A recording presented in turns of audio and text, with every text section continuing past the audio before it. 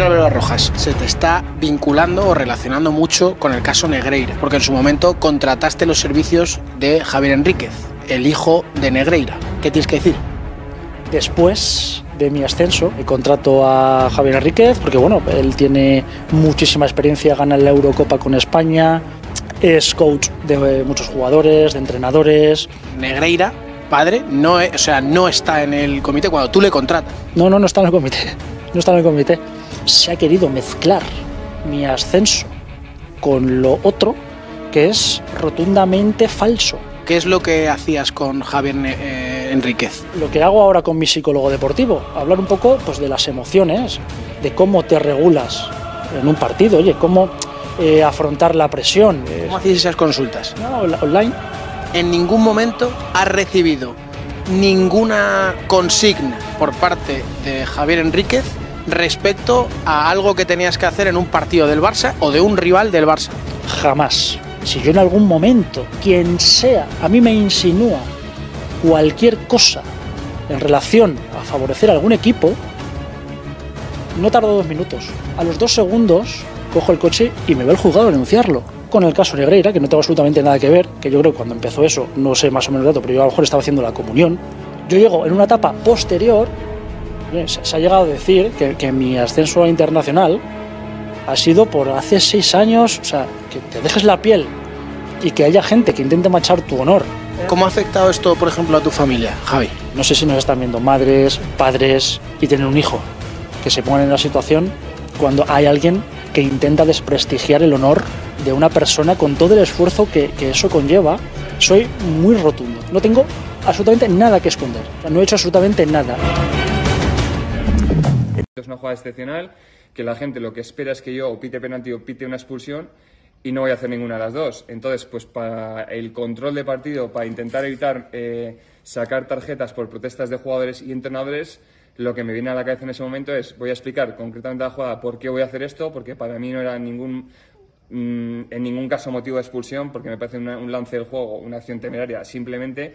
Y claro, la gente va, va- va a entender que me han llamado por una amarilla y yo lo que no quería entender es que nos hemos saltado el, pro- el protocolo. No, no, mi compañero cree que es roja y yo les digo y eh, para mí no es, no es roja, es simplemente amarilla. Entonces, eh, si la explico y salgo al terreno de juego y, re, y renuevo el partido con córner y expulso a Yone por doble amarilla y los entrenadores me la, me la aceptan, los jugadores, si ven a sus entrenadores que han entendido la explicación y no me, no me, no me realizan ningún gesto de, de desaprobación eh, o de disconformidad, eh, ellos lo van a transmitir a los jugadores. Con lo cual, eh, el resultado final yo creo que fue positivo.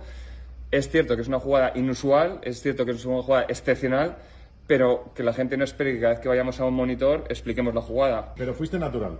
El Sí. entrenador está contento, la gente lo entiende y la Sí, jugada es excepcional. sí. Entonces, ¿por qué el reproche público de, de Medina, por ejemplo, de, de tu jefe o de otros compañeros? Bueno, pues porque... ¿Te duele? ¿O lo No, no, porque también debo, debo de aprender de estas situaciones. De- quizá tengo que tener la cabeza más fría y no, no dejarme llevar por esos impulsos y seguir unas directrices que están marcadas, ¿no?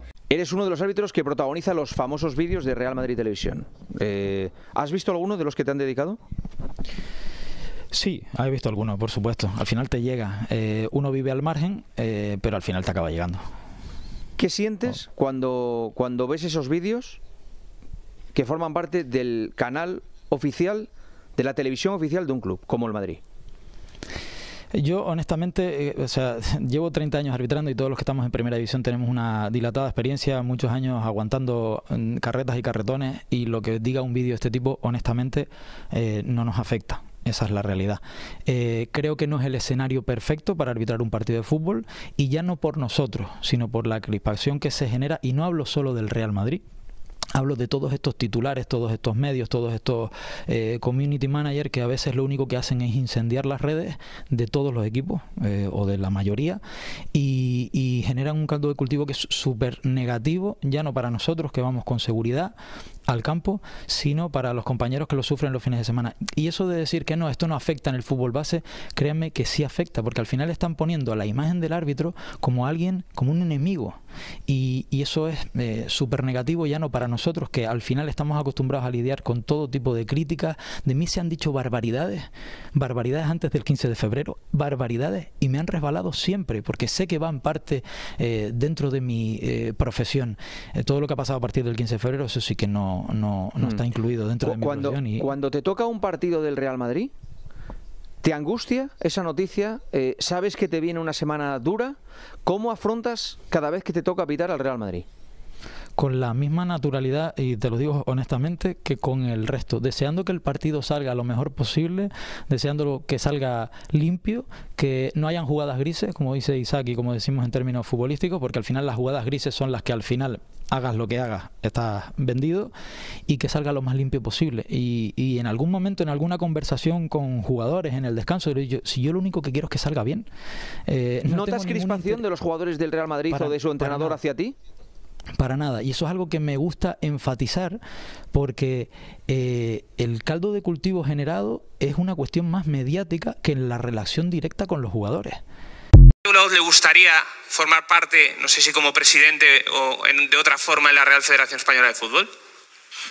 A mí ahora mismo, si me preguntas algo que es mucho más difícil, me gustaría eh, tener la posibilidad de ser un isco, fijaros lo que está haciendo ahora mismo en el campo. Yo echo mucho de menos el, verde y de la misma forma que echo mucho de menos el verde, si la familia del fútbol cree, opina, eh, entiende que podemos sumar en algo, lo, lo, haremos. Pero ya te digo, yo creo que ahora mismo en la sociedad en la que tenemos es momento de consenso, momento de unir, momento de, dar ejemplo como, como, país, con hermanos portugueses, con hermanos marroquíes, como ha dicho también en este caso el alcalde que tenemos que hacer, pues ojalá podamos. Y es imposible, me habéis pedido hoy estar aquí, me lo ha pedido un gran amigo como es Juan, es imposible decir no a poder estar aquí con todos vosotros, aplaudir a los premiados, a los que se han quedado a milésimas de, haber sido premiados y que van a seguir luchando con sus familias detrás para hacerlo. Eso es lo, único que os puedo contar, ya te digo. Y, en el fútbol es que no existe el pasado. Mar lo sabe, Mar ya sabe que tiene dos días para llegar a Vallecas, tiene la duda día a día con un equipo de fisios. Darle un abrazo a Gaby, que es lo más reciente, claro que hay mucho más lesionados, pero ahora mismo a su edad, decirle que va a volver más fuerte seguro, y eso es lo que podemos hacer. Si es que en el fútbol no hay pasado, solo nos sirve para entender un pelín el presente y el futuro es a las tres que Raúl coja un avión, vuelva, se junta con Ozuni y mañana pelear por un nuevo reto. Y eso es lo bonito del fútbol y eso creo que es lo que nos atrae a todos los que estamos hoy aquí. Intentar hacer un fútbol mejor y es que encima tenemos la suerte en España porque es un cultural que si hacemos un fútbol mejor hacemos una sociedad mejor.